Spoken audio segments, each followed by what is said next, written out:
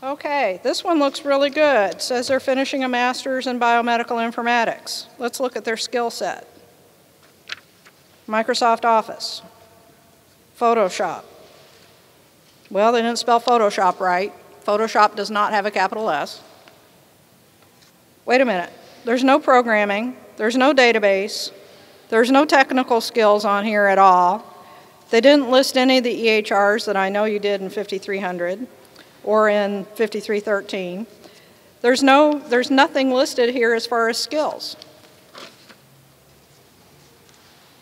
So you have to remember that the, that the people going through these stacks of resumes, this resume, what is, when your resume, what's its job? What's its job? Good, you read your homework. Your resume is not to get you a job, it's to get you an interview. That's the whole point, is that the job of that resume is to get you an interview.